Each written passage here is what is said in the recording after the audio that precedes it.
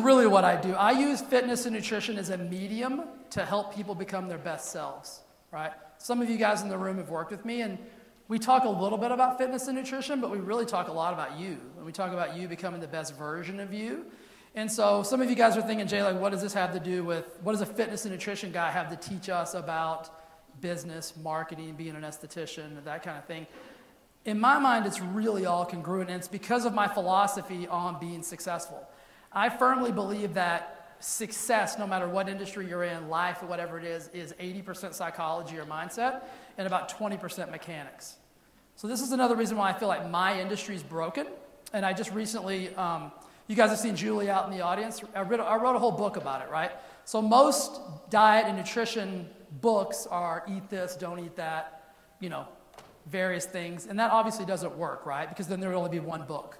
You would read it, you'd be so healthy, skinny, you'd have everything you ever wanted, right? So that's a broken philosophy. So what I teach is kind of the opposite of what everybody else in the industry teaches. I teach 80% psychology, 20% mechanics. Because without the psychological change, you're really never going to get the lasting results. It's like when I have a client that comes in and they're like, I say, What have you done before? And they're like, Well, I've, I've done Weight Watchers for the 30th time. And I always look at them like, Is it working? They're like, Oh, it works. And I'm like, Well, the, the never mind. It's, okay. And then so I just kind of help them see the picture that if it worked, like you wouldn't need to continually go back to the well, right? You wouldn't continually need to sign up for Weight Watchers year after year after year. So what I teach people how to do is, yes, I teach them how to eat. Yes, I teach them about fitness. Yes, I teach them all that stuff but I teach them how to be the best version of who they are. And so I think this is applicable to everything in life, even in business, right? So if you'll show up in your business, so I would guarantee, let's backtrack a little bit. This is kind of my free talker thing. Like I just get an idea and I'm like, we should talk about that. So that's what we're going to do. Yeah, I bet in your business, I bet 99.9% of you guys are masters at your craft, right? You would consider yourself to be really great at doing a facial, really great at, you know, eyebrows, waxing, whatever it is that you specialize in. But as I've listened to in the back of the room this week, like some of you guys are stuck, right? So you're not stuck because you don't know how to do a facial. Like you're stuck because you either don't have enough clients or don't know how to get client retention. Some of you are afraid of being successful, right? So that's that's not mechanical, right? That's all mindset. Like so you really don't need any more mechanical tools.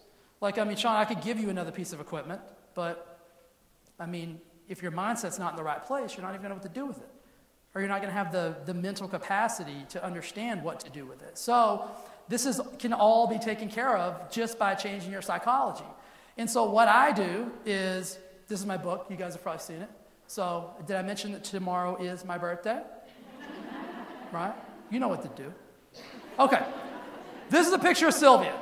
That, that adversity with the weather that I mentioned earlier. So, the flood, so gosh, it would probably be I don't know, almost three years ago, I was at the Long Beach show, because that's what estheticians do. We go to the Long Beach show.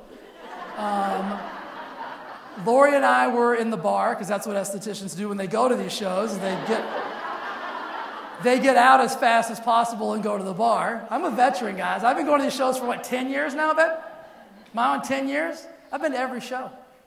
I've seen it all. So we're hanging out at the bar, and I get a phone call from the place that I was renting from for my landlord. It was out here in the desert, and um, if you guys are familiar with the desert, it never rains, right? It rains like maybe once or twice a year, and it's like a sprinkle. And my landlord said the entire, it was in the bottom of a country club, and they said the entire country club is flooded. And I'm thinking, okay, that pipe busted, right? Because as humans, we tend to blow shit out of proportion.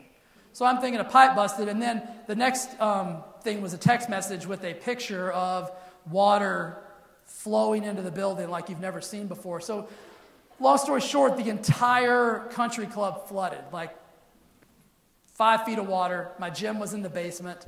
Um, so my entire business in an instant was gone. I wasn't even here. Lori and I were in Long Beach. And to make matters worse, I think in the, the following weekend, we were headed to Maui for over two weeks for my birthday. So not only was my business gone, no place to take people, I was about to leave the, you know, the continental United States for over three weeks with no place to take my people. So I had an option, right? And if I wasn't a mindset master, this could have completely derailed me. Right? This could have completely thrown me for a loop. And it did. I, mean, I won't sit here and say that it wasn't like, you know, that I didn't annoy Lori by, you know, freaking out a little bit. But what I did is I realized that I had to just take action, right? And so when I came back, my clients were like, I guess we're not working out. And I'm like, what do you mean not working out? I found tennis courts, I found alleys. I, we worked out in some stranger's backyard for a little while, and then they came back from vacation, so that was an issue. but you just figure it out, right? Like you don't allow the adversity of life to derail you and make you like crumble, right? So we fall, and I fell. Trust me, when your business floods, I don't care how great you are or think you are, you will fall a little bit. But if you start to master your mindset, you won't fall all the way. Like you won't go, you won't get crazy. Like you'll figure it out. So then, and I get on a plane, we go to Maui. While I'm in Maui, I figured, well, I got to have somewhere to come, you know, go to when I get back. I have to ensure my clients that Jay's not going out of business. And so I basically found a spot online, called the landlord, and secured a lease in the spot that I'm in right now, um, almost sight unseen. I mean, I saw the pictures. They sent me some, you know, Facebook, I mean, some uh, iPhone stuff, and I'm like, sure, I'll take it. So before that, I had never, you know, I wanted my own space, but I'm like, ah, I probably don't need my own space. I'm just going to keep renting from people and blah, blah, blah, blah, blah. And Lori kept saying you should have your own space, like over and over and over and over, over again.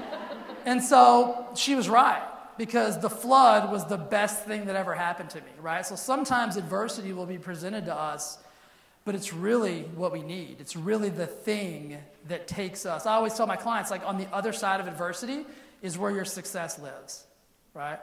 But what most of us do when the adversity pops up is we retreat. So you can't retreat. And so the flood happened. I didn't have the option to retreat. And so I pushed past the adversity. And now I am in the same studio that I've been in since that day and it was the best thing that ever happened to me. My business is probably, I don't know what's bigger than quadrupled. I know there's a thing, but I don't know how to articulate it. My business has grown exponentially, and at the end of this year, I will do, when you guys are cool talking about money, I'll do multiple, multiple, multiple, multiple six figures out of an 800 square foot private studio. I would have never, never, thank you. So, no flood, no money. So, the quality of your mindset, what I mean by that is this is your thoughts, your words, and your actions. You can't have negative thoughts, you can't use negative words, and you for sure can't have negative behaviors and think you're going to have a positive life. What do you do in the dark, right? What do you do when nobody's watching? Like right now, you're in the light and you're all gung ho, right? You're all pumped. You're like, I'm going to go home and kick some ass, right? Guess what happens when you go home? It's going to get dark right? You're going to be by yourself in your treatment room. So this, this matters, but this doesn't matter. It's what you do when you go home that matters. It's what you do when you're in your treatment room by yourself. What decisions are you going to make then? That's the game changer. So it's, this is about changing your life, right? And so this is about being your best self. And I always, my clients, it's a perfect example. If you show up as your best self, you will lose weight. If you show up as your best self, your business will be more successful. Your relationships will improve. Like everything will get better.